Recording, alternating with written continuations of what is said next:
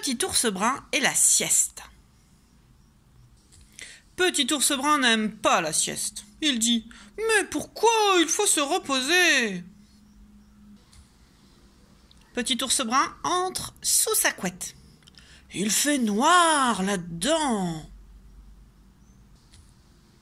Petit ours brun sort de sa cachette. Il fait chaud là-dessous. Petit ours brun trouve une chaussette. Ça lui fait une marionnette. Petit ours brun fait une galipette. Mais attention, il va tomber.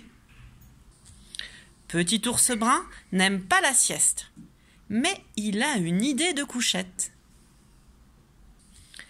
Petit ours brun s'est fabriqué un petit lui, bien à lui. Petit ours brun s'est endormi.